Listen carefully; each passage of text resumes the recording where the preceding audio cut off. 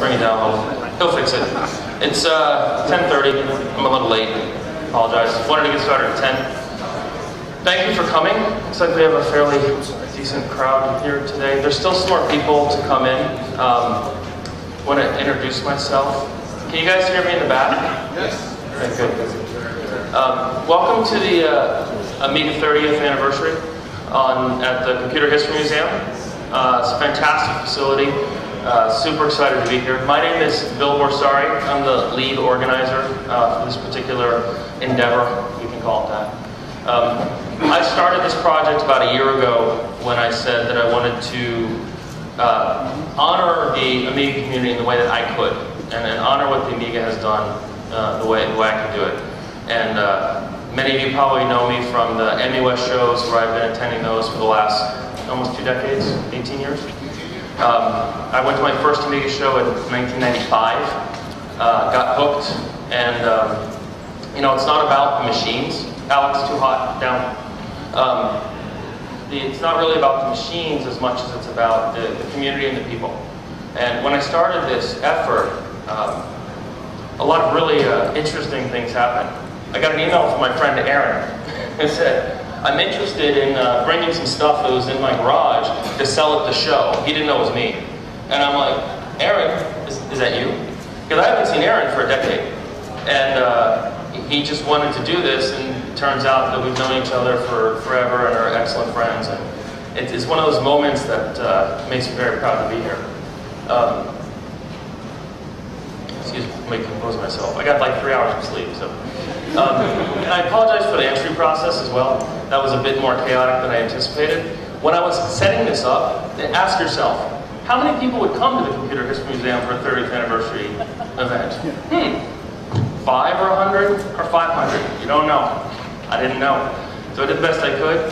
The ticket sales went vertical about three days ago. We went from 113 on the 20th to about 240 right now, which is fantastic. We want this problem, but that's kind of why it's a little more chaotic than I anticipated. Kind of budgeted some time. More of you bought tickets, and shame on you for buying them at the end. It's very difficult. I could have turned them off two weeks ago, and everything would have been crystal smooth for the 100 people who signed up. Uh, I also want to thank the Kickstarters, people with green lanyards, thank them.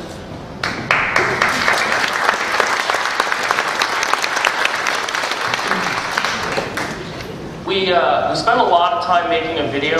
Evangelos is in the back. He did all the editing. Um, uh, I have to thank uh, Dale Luck for letting us come to his sanctuary. Um, it's got different names, uh, Warehouse 15, Area 51. Um, we pulled some machines out. They were kind of dusty, kind of dirty. Dale is the ultimate keeper of the flame of the, the Amiga legacy from the, from the beginning. Um, but he's got a lot of other hobbies. Uh, and he's got a lot of other stuff to do. So there's a little bit of work getting things cleaned up. Uh, Luca Severini, I don't think he's in the room, did a lot of work painstakingly cleaning the machines, making sure that the dust was removed. Um, we actually turned some of the uh, development prototypes on. They actually kind of work. The keyboards, the wooden keyboards you'll see in the gallery kind of work. Uh, key map's wrong, but I think we can fix that. Um, we, we, we, discovered things that have not really been photographed before. How many people saw the Ranger, that clear case prototype? Anyone see this before the show? So we, we knew about it. Some people had heard that term. Um, and you go back into the Commodore history of Commodore West Coast versus Commodore Germany or East Coast, the, the trials and tribulations injected into the company by various individuals like Mehdi Ali. And, and by the way, in the program under Kickstarters, it says Mehdi Ali's name. I, you, you, sent me the stuff, I put it in there. I, I wasn't going to edit that. yes, Rob?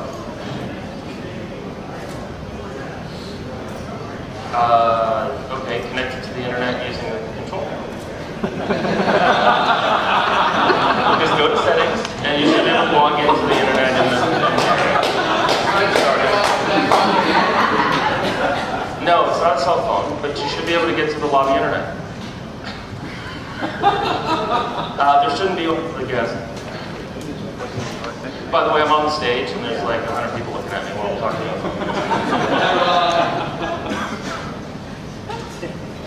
Yes. Okay. Bye. That's my brother. He's been fantastic. He came in, helped out. I, I, should say that all the volunteers, thank them. Uh, several of them have crew shirts. I, I, didn't have enough crew shirts for everyone for all the work they did. We have 31 machines, mostly, uh, in the history display. I wish I had more, because I'm insane. Um, but we brought them. They should all mostly work. They did work at one point. Uh, we have a couple that we need to get running. But this represents the history of what the Amiga became. So when we set out to do this event, we really, when I set out to do this event and, and work with the organizers, uh, Trevor, uh, Luca, Dale, uh, Paul Sadlick, um, one of the main goals was to reconnect people with the Amiga, the history of the Amiga. Uh, Bob Kodiak, one of the gentlemen you saw in the tie-dye shirt in the entryway, was one of the original Amiga developers. And he gets an opportunity to bring his children and his family to see the legacy that, uh, that they created.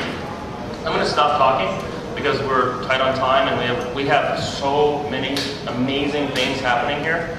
Um, just a quick rundown of the, the show floor. Please visit our exhibitors that we have out there. Feel free to visit the history table. All those machines are set up. We'll put chairs at them, explore, use them. Remember the old software, remember the old tools.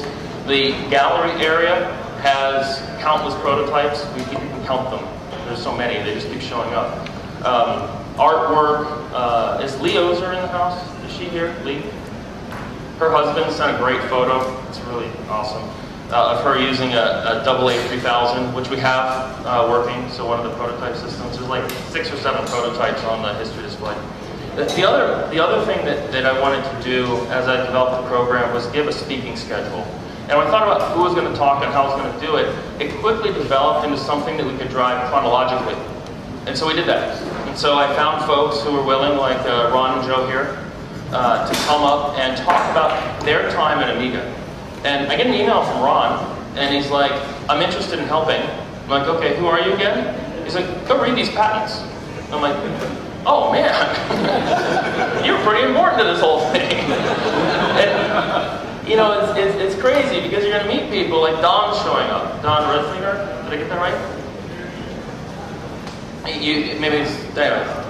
So, so uh, people that, the business plan, his name is in the middle there. And uh, we have a lot of folks that are instrumental to making Amiga happen. We also have people in the next generation.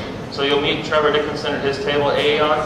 He is funding an effort to build PowerPC systems that run Amiga OS 4. We have several of those here as well. We have an AROS system running on a Raspberry Pi. We have MorphOS. These are uh, efforts by the community, often for very little or negative money, which is fun, um, to keep the Amiga legacy going. It's not right. It shouldn't happen. There's no reason for this to happen, but it does because the people who use this technology love it, which is why we're all here. Um, and, uh, oh, you got to check out what the Castar guys have done. Jeri Ellsworth and, and Rick Johnson here, the Castar technology, to see that. It's really cool. Um, but I'm going to stop, and we're going to let Ron and Joe get started. You guys good to go? Anytime. Awesome. So um, the way we designed the lighting is kind of stand over here. So the cameras in the audience get a good, good visuals. Um, but come on up, guys. So we've got Ron Nicholson. Thank you. And we have Joe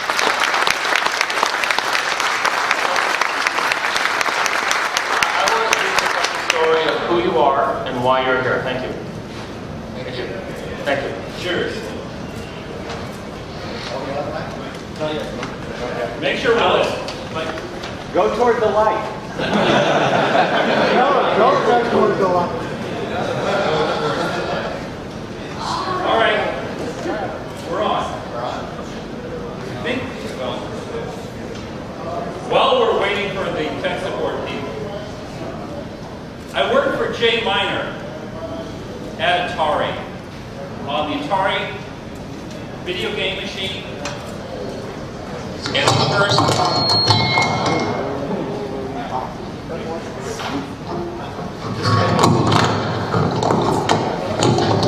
this is very difficult.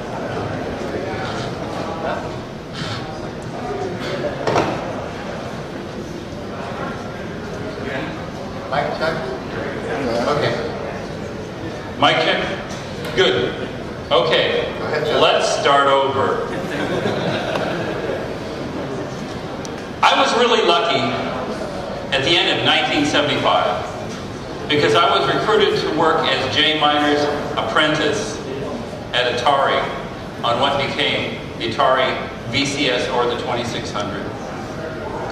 Both of us are here because we've met Jay, and we're here in his memory to explain the work that we did in 1982, 1983, 1984 to architect the hardware for the Amiga. So let's set the scene. A lot of stories have been told about the Amiga, uh, especially from software forward. But before the software before and Dale, am I sound on? Before Bob Pariseau hired the software team, there were just three of us in a room. Not to mention the whiteboard. And Mitzi, very important, in a room with a whiteboard, given a challenge. And a lot of talk, story of what we did in that room, what the challenge was, how we met the challenge, how we drew on that whiteboard. Check, check, is this better? What we drew on that whiteboard and how that led eventually to the Amiga 1000 hardware product. And here's what we're going to talk about today. We're going to introduce ourselves a little bit more, give you more about the historical background, tell us what our goals were, what Dave Morse told us to do, what we think the key innovations were, and a bit about how they work. We'll sum it up and we'll give you, we'll try to allow some time for resource for Q&A given the time allocated. Someone will tell us when we get yanked. And we'll tell you what to read.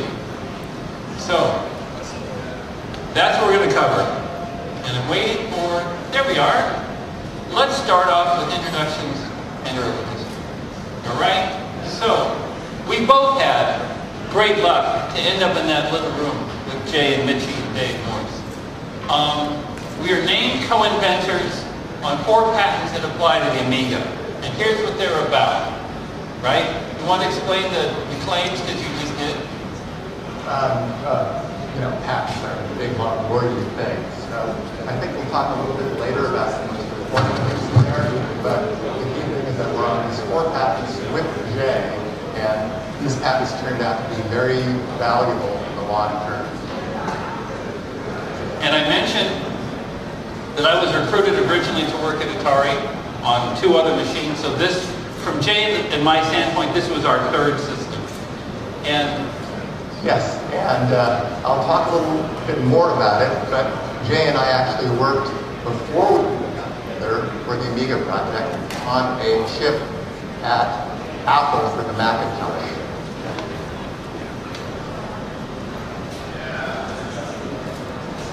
So, uh, you know, Silicon Valley, as they say, uh, a success has many fathers. It speaks to a genealogy. Uh, Silicon Valley is really a network of companies and projects and people.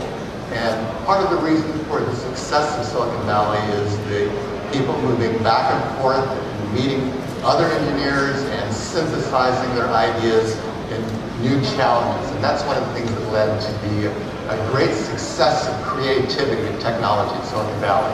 This is just a tiny fragment of the relationships of companies that led to the Amiga, the one specifically that Joe and I are going to talk about, but it's a very large connection of companies. There are several, um, I, I, I left Synertek on that chart, but this is all. That was also Jay involved came in this. from Synertek to Atari, a- and then they were one of the sources of the chips that we used in the video game stuff. Jay was a founder of Synertek. I have from his- some historical documents, and he worked with several semiconductor startups before that. He was a, a uh, major father in the industry. Jay went through six startups in his lifetime, I think. All right. Okay. Um, I'll begin the story uh, even before I met Jay at uh, BTI Computer Systems. This is uh, interesting because at BTI Computer Systems I was working on a, on a CPU, but I learned that a CPU that isn't very powerful by today's standards can be designed to serve hundreds of users by a very high performance programmable DMA subsystem. Learning this would be important later on. I also, at BTI Computer Systems, uh, met a brilliant software engineer at the time working on Pascal compiler. His name was Bob Pariseau, and that relationship would turn out to be valuable in the future, and a technician named Dave Deep. Um, a few years after I left BTI Computer Systems, I somehow ended up at uh, Apple Computer, where I was in the Apple II peripheral. Now, uh, Apple at that time, uh, you know right now, they've got buildings all over Silicon Valley and all over California. At that time, all the engineering of Apple fit in one building in Bandley 3. And engineers had challenges on multiple projects. At Apple, I worked on the Super Serial Card. I learned a lot about the Apple II design and how Woz did its brilliant memory architecture. That would turn out to be valuable later. And the Lisa group was nearby, and so I talked to those engineers about the bitblt that Bill Atkinson was designing for the Mac, for the Lisa actually, for the Macintosh, and game developers who were writing, using uh, bitblt code to write video games for the Apple II. Later on, I got uh, drafted into the Macintosh group to do uh, custom chips, among other things. We did a couple custom chips uh, for the disk controller called Integrated Woz machine. And for some reason, uh, Steve Jobs wanted to have not only a uh, clock chip on Macintosh, but he didn't like any of the clock chips in the market. They aesthetically were unpleasing, too many pins or something like that. So, Unlike someone else you know. so he uh, sent me off to look for uh, people who could make a custom chip for the Macintosh. One of the vendors was Synertek, which of course I mentioned Jay Miner was a founder, and he also gave me a phone number and said, here's this brilliant engineer that I worked with at Atari, please call him up. And that's how I first got introduced to Jay Miner. So uh, Apple actually contracted with Zymos. They gave us a good interesting thing about this is that the very first custom chip that Jay Miner designed for a 68,000 personal computer was not for the Amiga. It turns out it's clock chip or a second source clock chip in the Macintosh. And then later on, when uh, Jay finds out about another opportunity that Dave Morse is working on, he introduced me to Dave Morse, and we'll continue with the rest of the story. So, I was lucky. In 1975... We were 1975, both lucky. what? We were both lucky. Done, really. So I was studying, I was working in medical electronics, doing research on people in intensive care. But I was also reading the trade press. I was reading Byte magazine. I was reading IEEE stuff. And in September of 1975, I went to the Wescon show in San Francisco and bought myself a 6502. The same day that the same day that Wozniak did, and the same day that Ron Milner of. So I, I, I am studied in this stuff. I lose my job in medical electronics. I need to find another job. A friend of me connects to, to Ron Milner. I go and interview, and two things were decisive. One is that I understood the 6502, and very few people did at the time. And the other was that I was decent at playing the Atari video games in the lobby. They thought these are cool. So they first of all hired me to go up to Nevada City, California to debug the prototype, the, the concept proof for what would become the video computer. And the result was, it, management came up, it worked, they said, you're come on down to Los Gatos.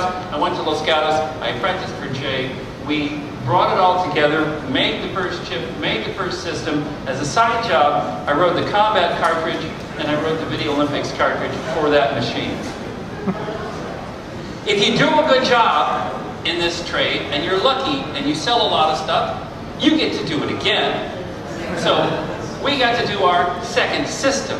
And I got to be the system architect working for Jay. And we came up with a lot of different things to do in the system, three ASICs. And they did, the kinds of things they did mirrored what the Amiga did later. Brought all that to fruition. At the tail end of that, instead of writing cartridges, I wrote production test code for manufacturing before I left Atari. So, where did we wind up? This is what the inside of the Atari personal computer looked up like. And it had a processor, it had what we would call an address unit, or ANTIC, or Agnus. It had a device that handled the TV output, which was called a CTIA in this system, and was called Daphne or Denise, mirrored in the Amiga. And we built the chip that did the non-video I.O., which in this machine was called Pokey, as in pots and keyboards. And it was mirrored in Portia or Paula in the Amiga. 6502, one of the major sources 6502 was from Synertek, where Jay was on the design team. We actually considered doing a 6509, but we didn't ship it. It later turned into the 65816, which they use in the Apple II-C or E. They, they later used it. Yes. Yes. Anyway, so this is the architecture that we was Jay's and my second system. And then we'll talk about the third system. The next slide, please. The day I left Atari in June of 1979, this is the last diagram in my engineering notebook. And it's talking about, let's build a stops out, best we can build, high-powered entertainment computer. And it had a Z8000 or a 68000 class CPU. We didn't know what it was yet, it was just going to be better. And dual port memory, and things that talk to serial stuff, and disk stuff, and audio stuff, and video stuff, and maybe something that manipulates the video. We were thinking about this in 1979, but Jay had already left in March, February, and I left in June. So,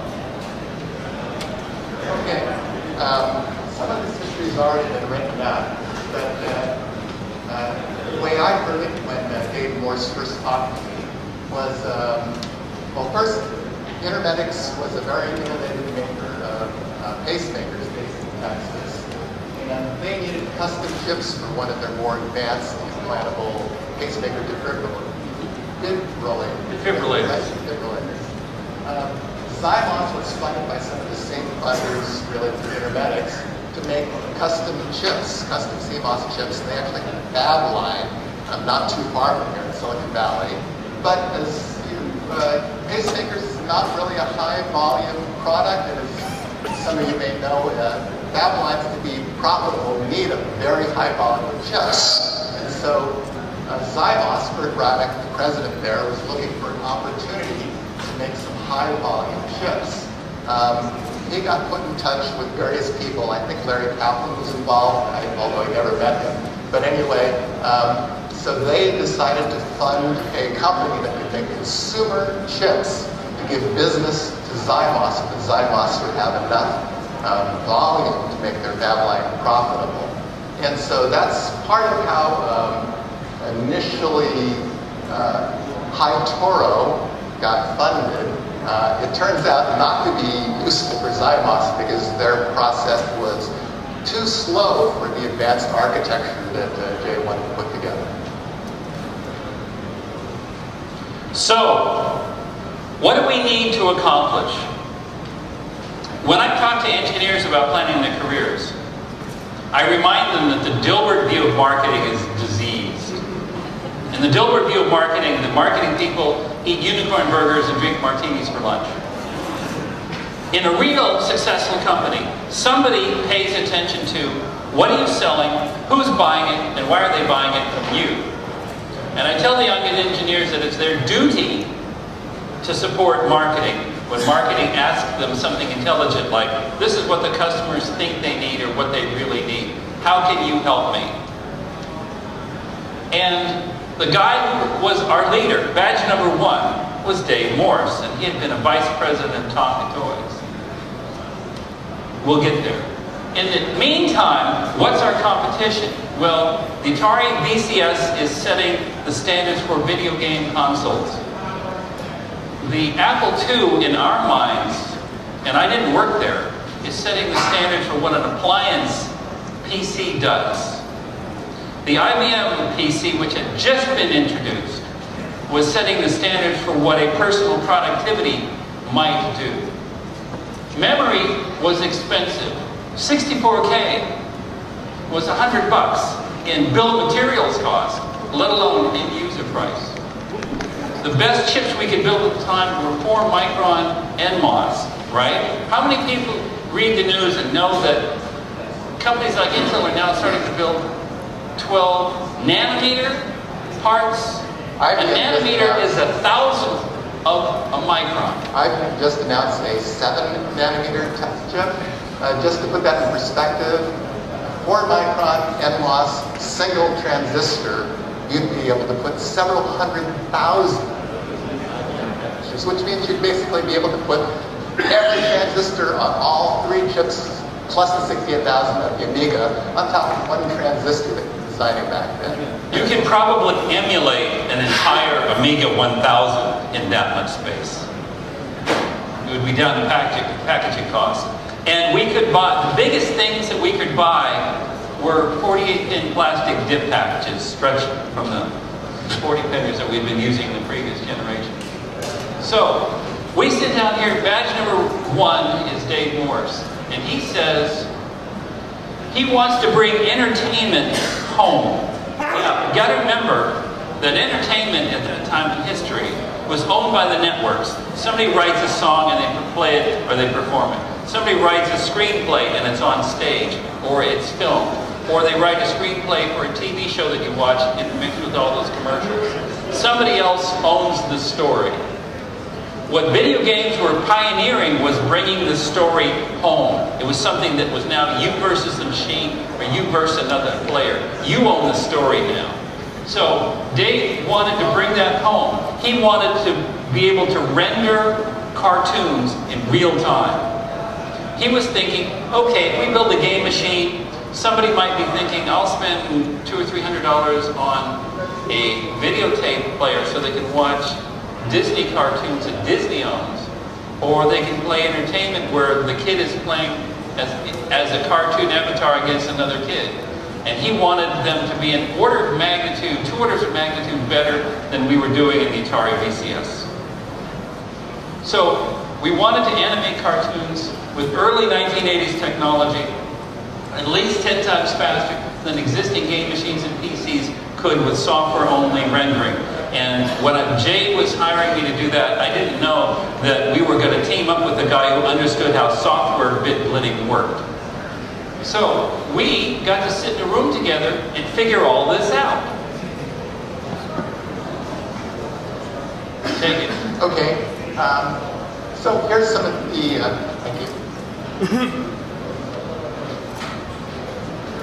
the patents list uh, uh, too many uh, innovations to mention. Uh, we just want to hit some of the highlights here, what we think are some of the key features um, that made the Amiga what it is today. Uh, the first thing is that at Apple, I learned that at Woz's Apple II, you could not plug the output of the Apple II into a VCR. The timing wasn't accurate enough. So the first thing that Jay and I did, I think you were involved too, is we worked carefully in the timing uh, of the of the video so that we could sync up to NTSC. These are the TVs that you could buy 30 years ago, right? You can't buy them anymore. CRT, digital. glass tubes, that, um, but anyway, so uh, this turned out to be very valuable uh, in the Amiga's future because it allowed, uh, the timing accuracy allowed gen locking and a lot of the uh, commercial uses of the Amiga. Um, Amigas were sitting around in TV studios for another two decades working with the video toaster because they could film someone against a green screen and overlay him on a computer-generated weather map. I mean, this was true for decades. Uh, the other thing that uh, I've worked, I've done working at a mini computer company like BTI Computer Systems, I learned the value of deep you know, offload the processor. Uh, Jay also had a couple mini computers at Zymos that he worked with. They all had some high performance I.O. channels. So one of the ideas brought up to uh, help the performance was uh, provide as much programmable uh, direct memory access as a piece of uh, hardware that can do high-speed memory transfers without bothering the software. And a lot of that in Amiga, a lot. Um, for various reasons, uh, uh, Jay didn't want to do things certain ways. Uh, so uh, we wanted to make the copper uh, highly programmable so that a lot of the features would be implemented in software. This also allowed the software to creatively do a lot of things that we could not even foreseen when we designed it. So Go ahead. One of the general lessons that we learned from the unanticipated wild success of the Atari video game architecture, to make it, we made it really cheap. And as a side effect of that, we put a lot of functionality in the hands of the game designers, who did all kinds of things that we didn't anticipate. And so a lesson that we got was that we needed to build general purpose stuff that other people could run with. We don't know what they're going to do with it, but let's make a palette and let them and get out of their way. And that worked for us on that machine, and we used it here. Uh, Bitblt. Has a uh, fairly long history. Uh, the name actually came from the uh, Xerox Alto at uh, Xerox PARC. They implemented Bitblt in uh, microcode on their machine. It wasn't in hardware. I think Sarah Link actually had some hardware Bitblt boxes, but um, I interviewed uh, Singer, Singer Link way back when. So I remember their Bitblitter was about the size of a UPS delivery truck. Uh, you know, not, the kind Not of thing commercial. you could, uh, you could sell to a consumer at a toy store. So uh, we had a lot of work to do. Um, we also uh, did bitplane video so that uh, we could make best use of the very limited memory space in this thing. Uh, Joe will talk about it later, but the Amiga came out at 128 gigabytes. We were actually looking at possible introductions of the game machine with only 64 or 32 gigabytes. And you can't really put a 8-bit or a 32-bit bit plane in that much memory. You know, you, you only use maybe one, two, or three bits. So that's the reason we ended up with a bit plane architecture. Uh, which probably held the, uh, you know, back in the long, long run as Moore's Law advanced well past what we Remember, we did the design, and 64K bytes cost a huge amount of money, right? So you have to remember that 64K bytes now is basically free. And another innovative feature we added, uh, essentially, was, is a form of uh, data compression. Um, we added uh, differential coding to the color output, and that's called hold, and modify. And that allowed the Amiga to produce more colors than competing machines at that time. And also the software types played lots of tricks and, produced even more colors than we thought possible. Um, another thing we did is um, instead of beeps and boops off a uh, digital sound generator, we added uh, a small sampled audio synthesis engine could actually take samples of sounds, play them, loop them to make waveforms and sound like various instruments, uh, sort of a predecessor of the current current day audio synthesizers. You have an example of that. We'll talk about it later. Okay. And then the other thing that turned out to be very valuable is uh, Jay wanted a uh, good interrupt system, and we added a highly configurable interrupt system that we could uh, lock to various locations on the video screen with timing. This turned out to be very useful when the software engineers eventually wanted to put a high-performance multitasking operating system on top of our hardware. Next. Okay. Let's see. Is this working? Yep. Right Uh, button? Yeah, I'll it's, let, I'll let you. Uh, well, here. Uh, Here versus this one. There we are. Okay. Okay, so finally we have our requirements. We listed the key innovations. Now let's talk a little bit how some of them work. So, key feature for animation. Obviously, we put, got the best CPU we thought we could afford at the time. And we were projecting that we might have to pay 12 whole dollars for a 68,000 in large quantity by the time we hit production.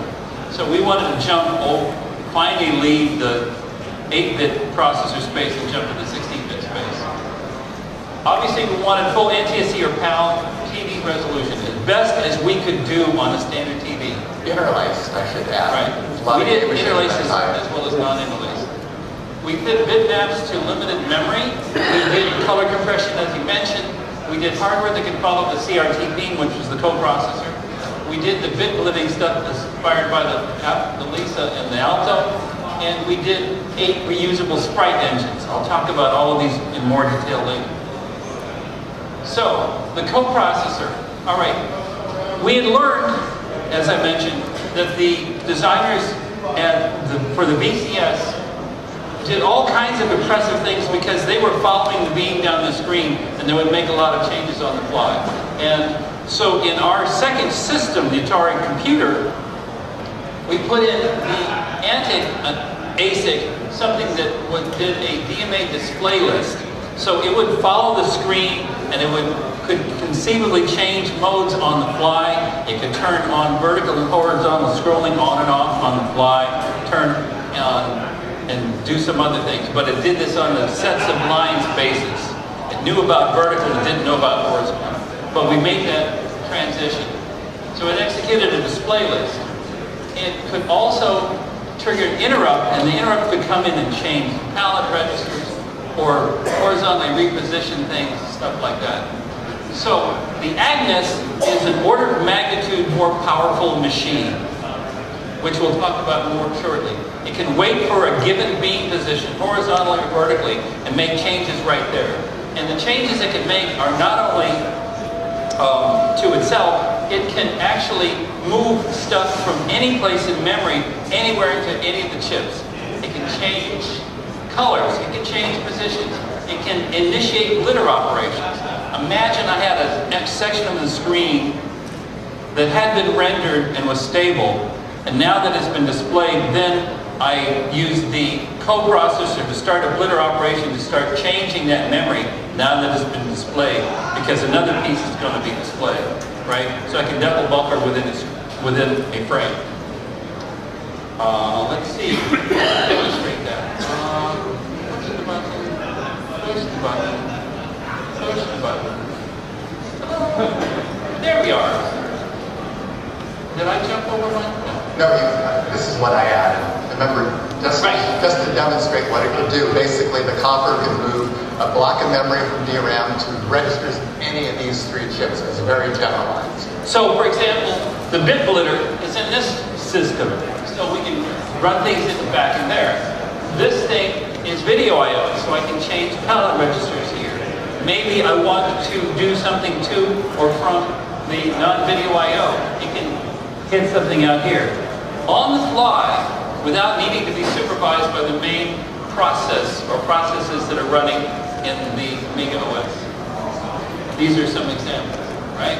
So, all right, bitmap hardware.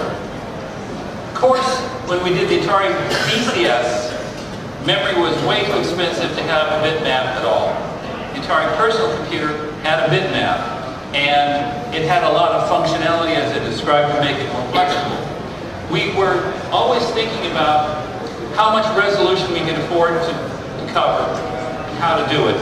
We decided to go as far as we could go with standard TV timing. So it can do 320 or 640 pixels across. Now on a monitor you can do that. On a TV you can't do that exactly. You can build things that are modulated with that resolution, but the bits have to be more than one pixel wide, otherwise they're going to fall into the color clock and do all kinds of funny artifacts instead.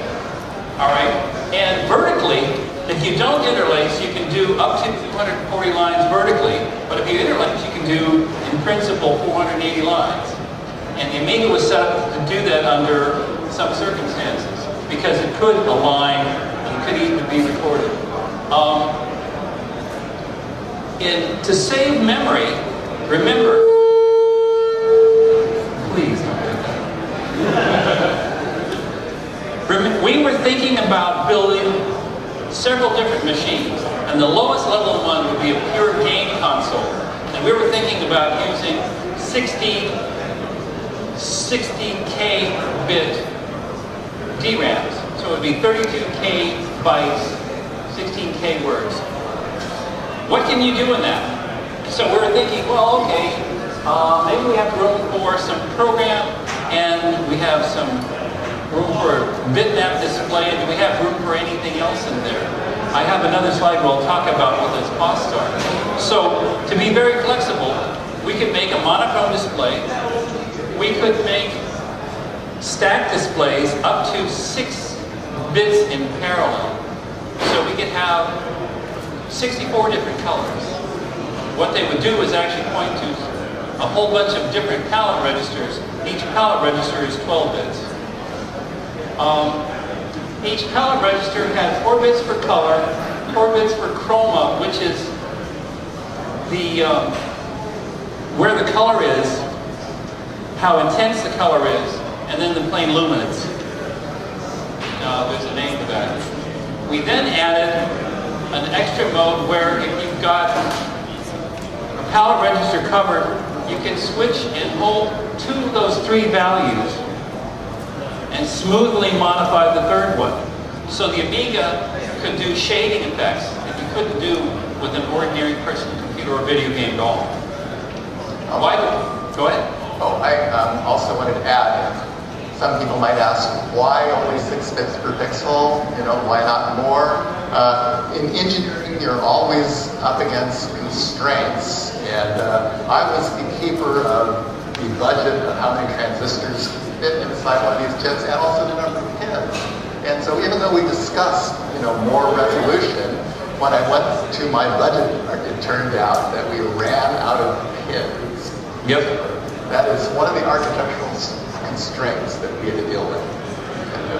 And finally, we had learned the Atari VCS was demonstrating vertical scrolling, for example, because the, the firmware controlled it. And so we built hardware controlled horizontal and vertical scrolling in the Atari computer.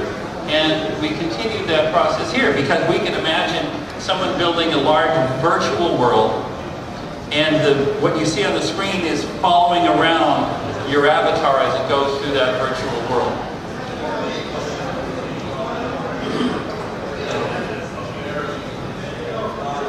Here we are, and this is just a little bit of the detail. If I do 320 by 240 vertical, non-interlace, right? One color. I can fit that into just under 10,000 bytes. The Atari video computer had 128 bytes. The first Atari personal computer had 8K bytes total for everything. We were thinking about building a machine where the minimum system would have 32K bytes. So for just one color, we would use a quarter of the, a third of the memory right away. If we built a three-plane system, so it's got eight different colors, that's going to cost us most of the 32K byte design right away. And we're thinking, how much money are people willing to pay for a machine that can render colors? We did a split system, so we could take two or three bit planes as the background, and two or three more planes that could move independently, and we could do our bit splitting of complex objects in one of them. And then we could switch the priorities so that the things move behind the trees or in front of the clouds or wherever, however the game is going to work. For a high res, if we were going to go drive a monitor for 640 by 480, that's going to take most of the 128K bytes that we actually shipped in the first Amiga computer, the Amiga 1000. So, Why don't you cover this? Yeah, uh, Bitblitter hardware. Um, to get, to get you, I'll let you hold it. Okay. Um, to demonstrate uh, what can be done, um, I had actually written some uh, Bitblt routines in, uh, in 6502 assembly and Forth, if you can believe it, uh, an Apple II, just as a learning uh, project while I was at Apple. But that turned out to be valuable because I could bring something over to Jay and demonstrate it. Um, as I said, uh, the Apple II uh, entire engineering department in one building, and there was a junk bin. And so out of the junk bin, I rescued the parts of a few dead Lisa mouse. So I had a mouse to demonstrate. So uh, I demonstrated that to Jay, uh, moving you know an object around using 6502-bit bullet hard software and the mouse. And he said, "Whoa, this is cool. Can we do this in hardware?" And so that was one of the uh, one of the challenges given uh, to the hardware team. Um, do you want to talk about Sure. uh, the details? Below? So imagine we want to do a Smurf cartoon. Yes, I know some of you would be nauseated by the thought of it, but just go, you know, stick with me here. So imagine we have a background. It's got some number of bits of depth. And we've got the graphics of a character, an avatar. And then we've got something which is the outline of that character. So what the Bitblitter can do in the time it takes to read and write it into memory is it can grab the graphics of the Smurf, it can grab the outline of the Smurf, it can grab the background and can cut and splice them together and stick them back in the same memory or in different memory. In the, again, in the time it takes to read it and write it. And it's radically faster than if it was software driven. And, um, out what logic operations we wanted to put in the blitter to do the various animations. We came up with a list of, you know, and these bits and or these bits, and we couldn't decide. So one of the ideas that um, that Jay and I came up with was to just make the blitter logic completely flexible. It turns out that we reinvented what nowadays would be called a three-input lookup table, an FPGA, and that became the ALU for the blitter, which allowed it to do basically any function of three variables. Again, allowing more flexibility for the software people to do crazy things. My only regret is I didn't put carry logic in it because we would have had first so we that. Premature optimization is the root of all evil. Yeah. So, I don't, there, there will be no test later. But this is how it worked. You could take an object and the outline of the object and a background and shove them all together and run it into the ALU and the barrel shifter. The shift control is the thing he was just talking about of any possible combination. And that can go into the decoders and then there's pieces that do area fill and line draw and that can go back out to a fourth location. And to illustrate it, I did some crude drawing. I said, okay, suppose I've got a simple tank, right? It's green, it's got black treads, it's got a black barrel, and I've got a tank outline, which is shaped like it, but it's monochrome. And I've got some random background. And I can shove that in here, and using this as the selector, if it's set to true, I take that bit, and if it's set false, I take this bit, and the result looks like that. I can splice the tank background on top of a random, the tank on top of random back, background. Again, as fast as it can be read and written by the marker. So, well, First use case, we want to compose the outline of the character. Second use case, we want to be able to draw lines, draw polygons, if, if we do area fill. So, to illustrate that, the blitter can be used to pots, put endpoints. You can then feed it and have it do a line draw.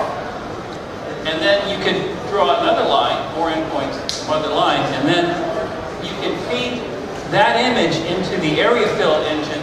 It will pick up the one and extend the one until it hits another one, and then stop extending. And that can become this.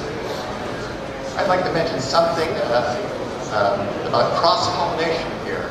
Um, you know, there hardware types and software types, but we actually went back and forth. For instance, I did some of the early demo software uh, to test the Amiga, and it turns out that line draw hardware wasn't really in our original architecture. Right.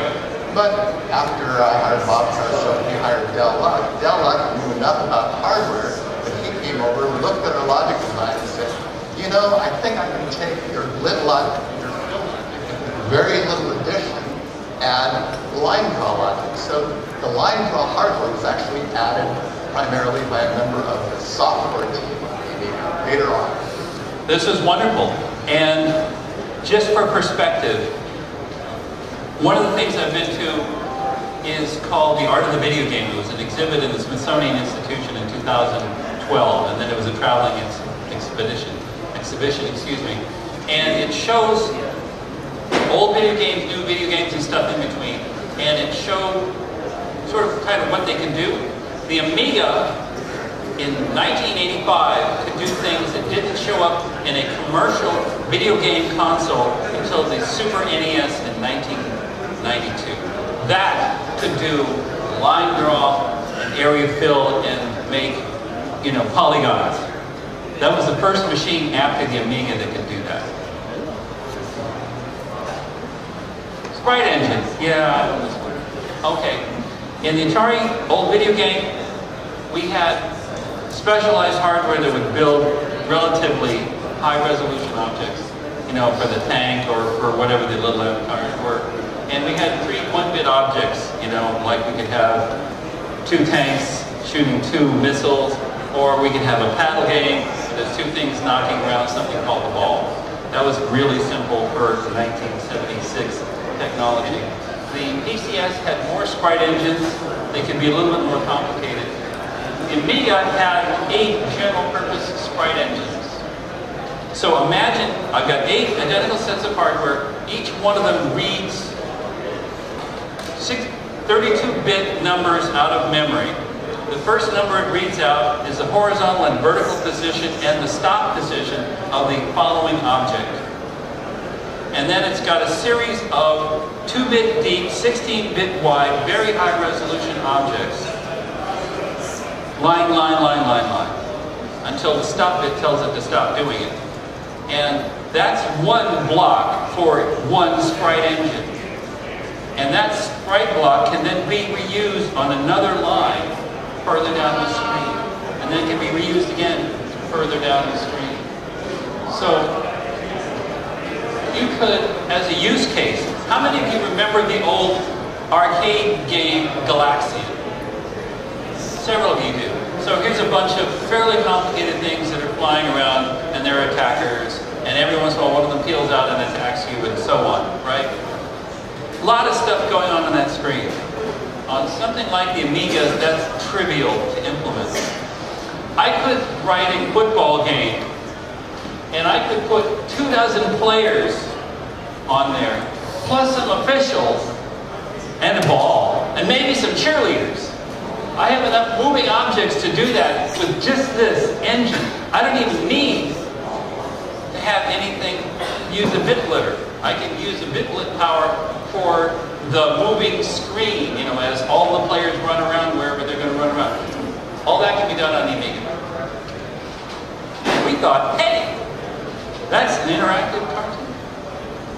So, to illustrate this, so the record has, the first 32 bits says where it starts vertically and where it starts horizontally, and then it says how long it is. So then the engine is going to start reading images until it hits the top. And then, if I have more images, the next one could go to another H start and another V start and run a different image. And then it can be reused again at another position. And then it can be reused at another position. And this is just one engine and there are eight of them. If you were to look at this at a different angle and ignore the fact it's graphics, this looks a lot like a mini computer or a mainframe's uh, processor list for loading sectors off a disk. The concept is uh, very similar. Yep. It turns out that we just one domain and found a way to apply it to another domain to make a high performance graphics. So we built a very powerful machine oriented to do cartoons instead of run the mainframe back office. So, audio. There are four audio engines thing. The VCS has with audio feedback to make, you know, tank sounds and jet fighter sounds and random stuff like that. This machine went way farther. We made audio waveform images in memory. So one engine has, each of four engines has something high speed with a 16 bit divider so I can have a wide range of sampling frequencies. Then there's a memory pointer that looks at memory and pulls the images out of memory. If I pull a single 16 bit word out, it's just one number and a number, another number, which means it's going to be just a sine wave. A square wave, excuse me. I can make a small image for a triangle, or another small image for a sine wave. They're 8-bit images per sample.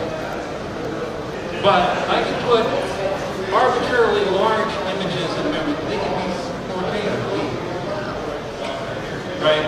So you initiate, tell the engine where it starts in memory, and you tell it how long it is, and you tell it how fast it steps.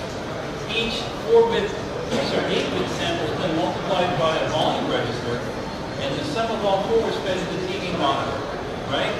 So, several years after uh, uh, the Amiga came out, I remember, uh, you know, looking at some. They're called mod files. What are these mod files? I look at what they are, and I found someone had created a whole music format based on our audio synthesis engine, and that format lasted for quite a long period of time. Right. So in general, you can make sine waves, triangles, square waves, pseudo-random patterns. You can make musical images. The most interesting demo that I saw is we recorded the dog barking. And so that's a sample, right? And then we hooked it up to a keyboard, so if you push it here, it's a wolf. And if you push it up here, it's a yip! And if you push it in the middle, it's the dog barking in between, right? So you can play four chord keyboard synthesis of yapping dogs. It was hilarious. I wouldn't pay money for it, but yeah. Um, another easy demo, if you like music, is that you've got, let's say you recorded the sound of something and you record, like say the root note and the five note and the four note, and the, sorry, the three notes, so you've got a major triad. You can add them together stick them in one image and you can play the whole chord as one image. In fact, you can hook that up to a keyboard and play chords all the way up. One of these days, I hope to do that myself. Okay. There we are. There is no test. But this is how the audio subsystem works. Um, we should, by the way, make arrangements for these to be public to everybody who. It doesn't to like that means you don't have to take photographs. Okay? Finish system in history. Um, here. Okay, so um, it, this looks like the same three-chip arrangement that was used in the Atari, but when going over the die size and the pin-out limits, this turned out to be uh, fairly much constrained by what you know the, what we could do the size of the chips. So we pretty much had to, after we all the features we wanted, we pretty much had to divide it into three chips, and then uh, because of the pin limitations, uh, certain functions had to go to certain chips. Uh, yeah. Uh, oh, I should. Uh, you know, the chips have been renamed a few times. Uh, in my notebooks, they're called Agnus, Daphne, and Portia. Uh, I'm not sure about yours. And later, they've renamed other names like Denise and Paula. So we might talk about different names than in the, I mean, the original names were Agnus, Daphne, and Portia. And that's just because Jay and I companies or projects were named after uh, wives, daughters, girlfriends, whatever. Different old story.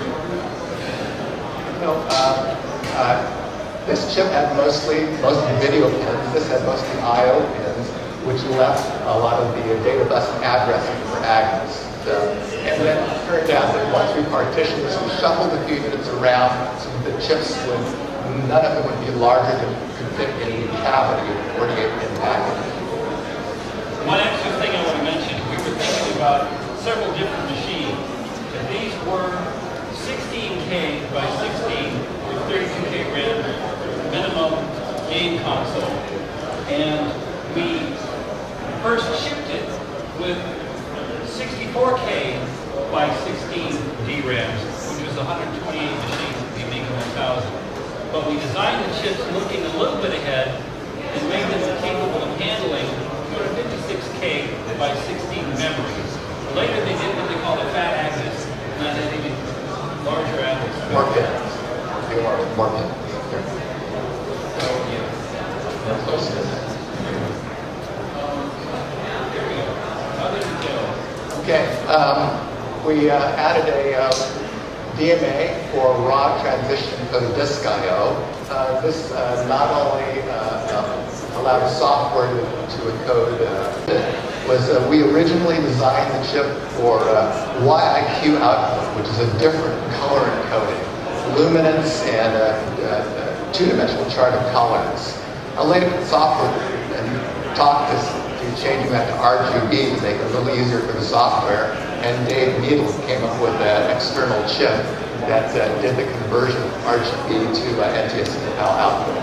And as I said before, um, the line draw was added pretty much stage after Joe and I were done with the architecture to, uh, to the chips. One of the things I mentioned, in the early 1980s, everybody had analog TVs, most of them with color, and they took YIQ as controls. By the mid-80s, people were starting to get color monitors that were dedicated to being monitors. By the late 80s, everybody had access to color monitors, and it became more efficient to drive, you know, VGA or equivalent monitors with RGB. But we didn't know this when we started off. Uh, let's see. Project history. Uh, we've been talking through this, but uh, uh, basically to summarize what we did, um, Jay, Joe, and I were pretty much locked in a white room, in a room with a whiteboard by Dave Morse, and been told to come up with a solution. And so we came up with uh, the first system block diagrams and uh, timing diagrams, uh, preliminary pinouts, chip microarchitectures, what each block inside the chip did, some did DMA, some registers, some address memory, etc. Um, actually wire wrapped uh, two 68,000 boards, only one of which worked reliably. I spent months trying to figure out what was wrong with the other one. Um, and then uh, we hired uh, consultants and other engineers. Uh, Dave Dean was one engineer that we brought on board. Dave Needle was another to do the detailed logic design. Um, and they wire wrapped a large team of engineers and technicians. Well, not that large. But pretty amazing what we did with the number of total people involved. But uh, you've seen the photos of the very, very, three very large TTL chip emulators with hundreds of chips on them that we had worked very hard to, uh, to get to work reliably at all, given there were hundreds of thousands of uh, hand-wired connections. Um, also, uh, the room that originally just had the three of us, we brought in uh, Mark Shu and Edwin Shu as the uh, circuit designers, and they started doing the detailed transistor sizing, and uh, we brought in um, consultants to do the layout. And one of the things is that there are lots of modern design tools today. Um, engineers doing chip design know that it's all done on computers, synthesis, and uh, automatic DRC checks, simulations. We had none of that when we were back then. We, It's amazing that things work. RubyLith, large sheets of RubyLith the size of a tabletop. We had layout designers with pieces of colored tape where every transistor tape would go. And one of the things I do is go in there and actually with a little ruler measure the size of the tape in the space between the door design rule check. That was that was automated rule check. Me and several other people in their rulers. So uh, in spite of that, and in spite of the difficulty of doing that, um, when we fabricated three chips, uh, the first three uh, cut goes mostly worked. There were a few missing minor uh, features in Portia and some timing issues in the others, but it, uh, we were either very, very good or very, very lucky, or probably both. So now, as uh, Joe talked about, we started the architecture um, as a uh, something as a game machine with with the Atari VCS. Or, or something that would later compete with something like the Super NES or something like that, even though that hasn't been out yet. But right around the time we finished, the game market In 1983, many of you might be old enough to remember the collapse of the video game market. And there was a big three-way rearrangement in 1984. The um, Amiga company itself was running out of money. They had built a chipset. They had convinced Atari to consider licensing the chipset to make coin-op games with. But they were basically starving. You know, they terminated my contract. It was hard to hire anybody. They weren't yet at the point where they could afford to repivot towards personal computers. But the Macintosh was introduced in 1984, and that said, hey, personal computers, it's got a 68,000 in it. And then Commodore came along, needing new products and energy, and they bought Amiga. And they said, we're going to make a computer out of it, not a video game console. They were watching the carnage in the video game world thinking, no, we're not going anywhere near that. They didn't see the opportunity that the NES would represent in 1985-86. So they did what they now call pivoting towards a personal computer, and we went in that direction. The Commodore investment, they had the money to hire the software team to do groundbreaking work to make Amiga OS, and they made the first personal computer as the Amiga 1000. So we're about done because we're covering the architecture, and the next speakers should explain all the software. Um, I, I, wanted to say one other little thing here about uh, things. Um, IEEE. Um, Joe's uh, uh, actually a fellow of the IEEE. Uh, Because of its work. I've been a member since college. Uh, Joe's actually featured in a couple IEEE magazine articles, so we're uh, proud to be members of the Institute of Electrical. And Jay was an. IEEE member. And, and the three of us also, uh, for local, we're all graduates of UC Berkeley Engineering School. Go Bears. All right, so let's finish this. Oh, did you, did you read the last slide? Oh, back up two. Back, no, back up two, Joe. Back up two. Give it, oh, forward one. Uh, or, get back, yeah. Yeah. So, um, I just wanted to say that, um, in summary, we designed, uh, you know, some a pretty interesting product. And uh, um, one of the things that surprised me, I, you, you can speak also, was uh, how long uh, what we stayed so popular among many people, among all of you, for, for compared to any other technical product, you know, an insanely long time. And here we are 30 years later, still celebrating. Anyway, so a little bit of resources. All right. Here I have a hardware manual. Here's how all this stuff works. Here's an article from 2001. It's called The Computer That Would Not Die. Here's one of my favorites. It's an MIT platform series book called The Future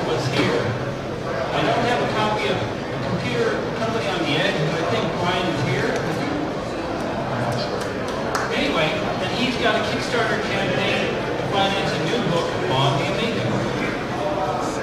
So we are here in his memory. And find us. And if we have time, I'm not sure Clock.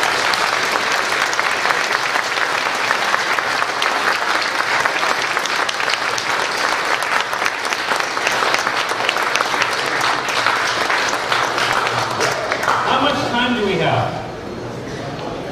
Who owns the schedule and how much time do we have? Five minutes. Done. Five Give me one of the- give me one of the. First question.